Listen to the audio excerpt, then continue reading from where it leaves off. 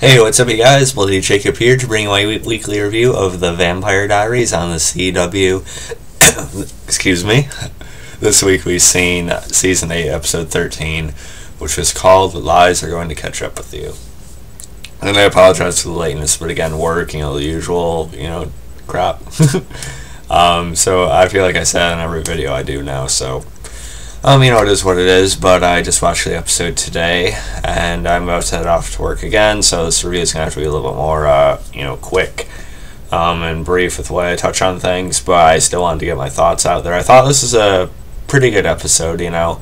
Um, I don't think it was one of the best of the second half of the season we've gotten. Um, not quite on par with the last few we've seen, really, in my opinion. But I still thought this was a fine episode. Of course, we've seen the return of uh, you know Kai in this episode, played by Chris Wood. Um, I know a lot of people are are a big fan of uh, the Kai character. I thought he was an all right villain, um, but I wasn't really as crazy about him as others seem to be. But I do think it makes sense that he would uh, come back around this time. You know, with the whole Elena return thing coming up. Uh, we know Elena is going to wake up somehow, some way, so it kind of makes sense to have him back. Um, you know, and he is, uh, you know, he is semi entertaining in this episode. You know, I like his line when he gets to Elena's coughing. Hey there, sleepyhead, remember me? I don't know. His delivery is, uh, you know, pretty fun sometimes. I'll give him that with his uh, lines. Um, and then another big part of this, ep- we'll talk more about Kai uh, at the end of the video, but another big part of this episode is, of course, uh, who kidnapped Stefan, and it turns out to be Dorian.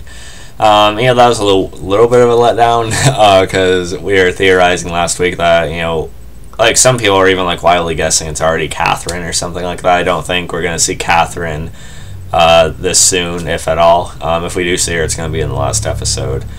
Uh, you know, a lot of people. I, I was thinking maybe it could be like John or uh, Jeremy or something like that.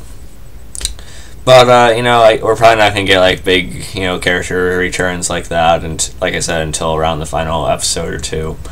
Um, with it being Dor- Dorian, it was okay though. You know, it sort of fit. You know, with what they're trying to do with uh, Stefan right now, um, just making him feel like uh, shit, basically. um, you know, with him being human now, he feels the weight of everything more than ever. And Dorian's basically like another vehicle for that, you know, because apparently uh, around the time of season three, uh, when Klaus had Stefan, you know, going on that Ripper binge with him and such, um, when he was trying to create more hybrids. Uh, I like Klaus being mentioned in this episode too, uh, you know, which was awesome.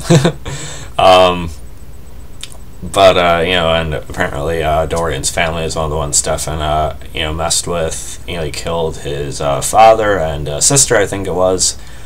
And uh, then Stefan, of course, compelled him, and now Stefan's human. You know, all his compulsion throughout the years is wearing off on everyone.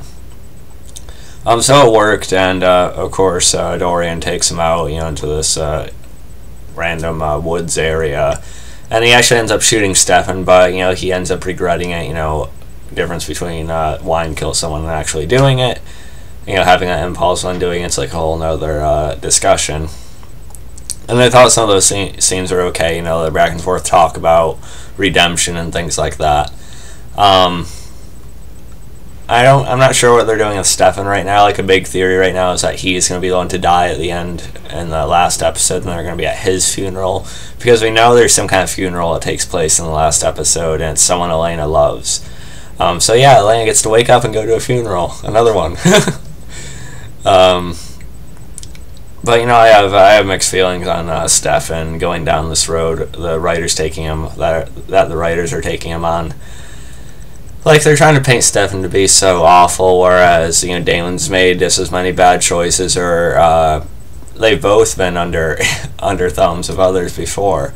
Um, so I don't see why uh, Stefan's being made out to you know be so much worse in this angle. I I don't know you know, and Damon's not going to say, you know, he's done less than Stefan either, so I don't know why they're focusing on Stefan being the one that needs to, you know, completely pay, you know, for everything he's done. I, I don't know. Um, but, you know, we had a discussion last week. Apparently, some of you don't like Stefan. you think he should just uh, die in a hole somewhere, but I mean, I think Stefan deserves more than that, so it kind of feels odd that they're sort of uh, trying to force uh, something that where he doesn't deserve happiness. I don't know. But uh, you know that part, the the scenes were all right, I guess. And of course, Caroline shows up, but uh, her blood doesn't heal Stefan anymore because he has a cure in him.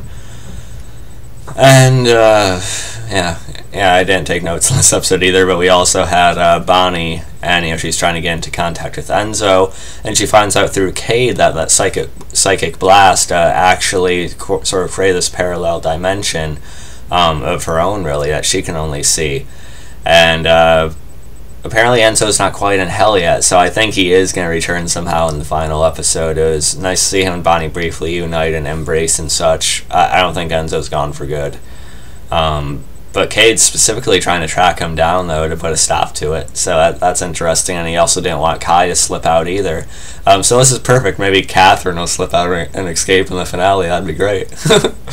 um, it, it's so it'd be so easy to do it. Just just bring Katherine Pierce back, please. I mention that in every damn TVD video I do, but um, I was wearing my Katherine shirt while watching the show too. So anyway, uh, that stuff is all right as well. Uh, and that was pretty much the episode. I know there are probably some things I'm forgetting to mention right now, but overall, I thought it was a fine episode. Not quite as good as the Fast Few. Um, I'm not I'm not, not as uh, Kai crazy as others, but I still thought it was a fine episode. I'm going to rate it about an 8.5 out of 10. Uh, hope you guys enjoyed the video. If there's anything else about you want to talk about, feel free to leave a comment below. As always, follow me on Twitter, Facebook, like, subscribe. I'll catch you guys next time. Peace.